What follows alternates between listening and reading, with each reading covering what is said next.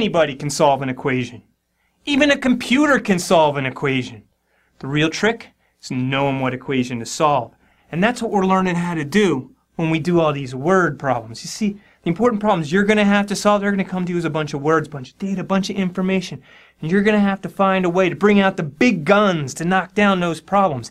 And the big guns are math. You're going to have to learn how to turn all those words into math. So let's try that on this problem right here. This problem's about our awesome pre-algebra book. Now, my co-author, Dave Patrick here, he's also our CFO, and he explained to me this morning, he said, you know, our goal is to sell 200 books over last week and this week. We're going to need to sell 24 more this week than we did last week in order to meet that goal. So I said, okay, Dave, how many do I have to sell this week? And Dave said, you figure it out. Hmm, it's not very helpful, but uh, maybe we can figure it out together. So we're going to try to turn all these words into math. Now, earlier we did these word problems in which the word problems were all about some number, so it was obvious what we would assign the variable to. But here we're going to have to figure out on our own what we're going to have our variable stand for so we can build equations. And one thing I usually like to choose for my variables, what it is I'm trying to find. Here we're trying to find how many books we need to sell this week. So I'm going to go ahead and let our variable be B for books this week. And I'm just choosing the quantity that we seek to be our variable. Now let's figure out what else we can find. Well, we sell. We need to sell 24 more this week than last week. So let's see. Last week then would be b minus 24. That's last week. And our goal is to sell 200 total. So these two have to add up to 200. And there we go. We found the equation that we have to solve. And we know how to take care of this. We combine the b's, we get 2b minus 24 equals 200. We isolate the variable by adding the 24 to both sides. That gives us 2b equals 224. Then we just divide both sides by 2 to get the b all by itself. And that gives us b is 112. Now it's a word problem. We want to go back and check our answer.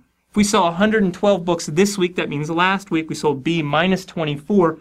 Subtract 24 from this, we'll subtract 12, we'll get to 100. Subtract another 12, we'll get us down to 88. So if we sold 112 this week and 88 last week, that combined does indeed get us to our goal of 200. Maybe you could help us out with that. And we have answered this question. We checked it out. It worked. And we see this is our strategy, again, for word problems. Define a variable, set up an equation, solve the equation, and go back and check your answer. And make sure you've answered your question at the end. Let's try one more problem. We got one more problem. Got our awesome pre-algebra book here. You see, Dave and I, we collaborated on the first hundred pages, kind of split up the writing. In the end, my page count ended up being four more than double his. We want to figure out how many pages did I write. And once again, it doesn't tell us exactly what the variable should be, so we're going to have to figure that out for ourselves.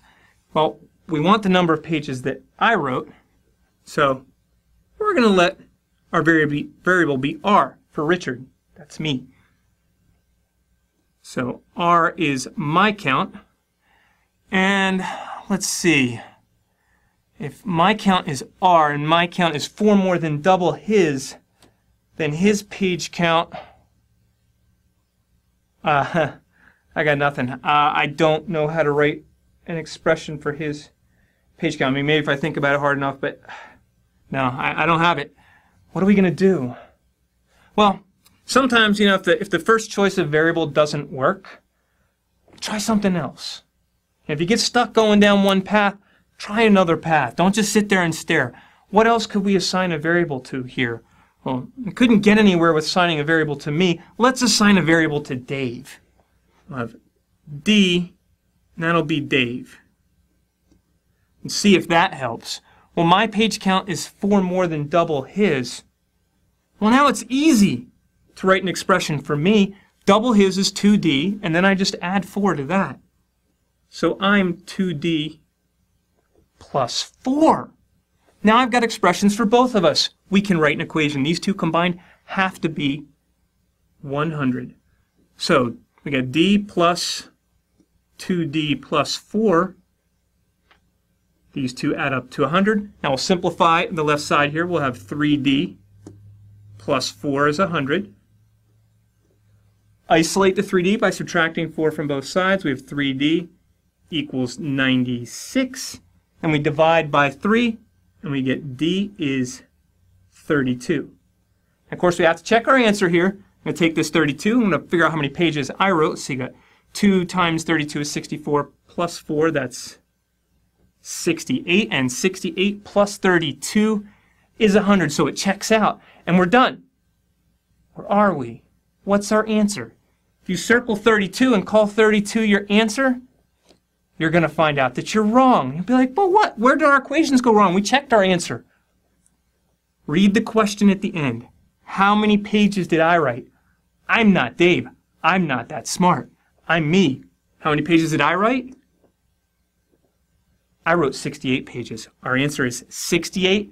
We checked our answer. We answered the question. And we're done.